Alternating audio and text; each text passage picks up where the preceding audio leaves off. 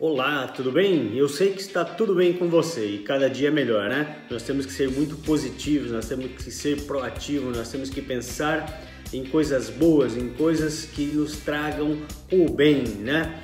Eu quero hoje fazer uma reflexão e em cima de algumas perguntas, né? Ou uma pergunta que todos os dias me fazem. E agora?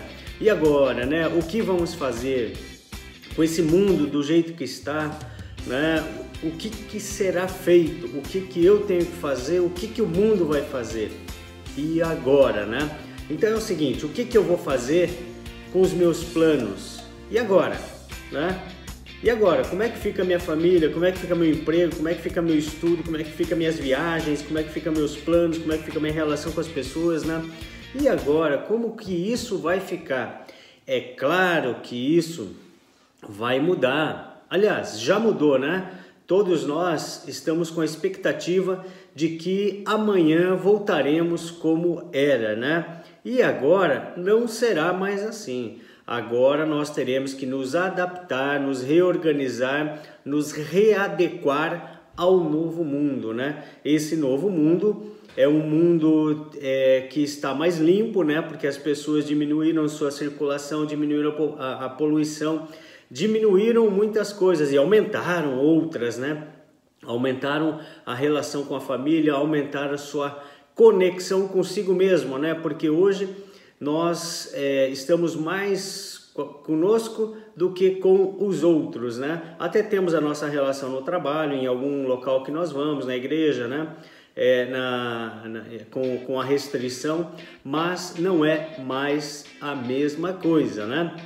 E agora? Agora temos que reescrever este caminho, agora temos que reescrever a nossa história com novos hábitos, com no, novos planejamentos, né? Como é que fica meu estudo agora? Né? Antes eu ia para aula, antes eu tinha uma rotina, né? A rotina mudou. E agora? Agora a rotina mudou. A forma de estudar mudou, a forma de aprender mudou, a forma de praticar mudou. Né? Até quem faz exercícios físicos né, teve que se adaptar, a alimentação teve que se adaptar, a hora de dormir, a hora de acordar é algo assim que está remexendo conosco e que com certeza, né, nós temos a consciência de que não será da mesma forma. Não está sendo fácil para ninguém, não está sendo fácil, está sendo muito difícil, mas depende de cada um fazer a sua readequação é, na sua vida, na sua rotina, nos seus hábitos, nas suas atitudes, nos seus comportamentos, né? Então você que espera que alguém vai fazer algo por você, esqueça. Você é o autor da sua história, né? Deixa eu focar aqui em relação aos nossos alunos, né? É, é no nosso Brasil, é, muitos estão com muita dificuldade, porque sempre tinha o apoio de um professor, de um colega, né? É, presencial. Mas esse professor ele continua conectado contigo, ele continua conectado nas redes sociais, no WhatsApp, no, no ambiente virtual de aprendizagem, né? O professor ele continua nos seus vídeos, ele, o professor ele continua interagindo com você, né? Alguns inovam, outros mantêm a mesma linha e você mudou. Você hoje está buscando uma relação com, com uh, o seu colega diferente, né? Que são as redes sociais. Então, agora você mudou. E você continue investindo na sua carreira. Continue investindo. Mas qual carreira é a minha? Mas eu fazia algo e agora não faço mais? Então busque algo novo, busque algo que vá te satisfazer e que você pode vir a se sustentar futuramente, né? Então hoje eu queria que você respondesse, e agora, né?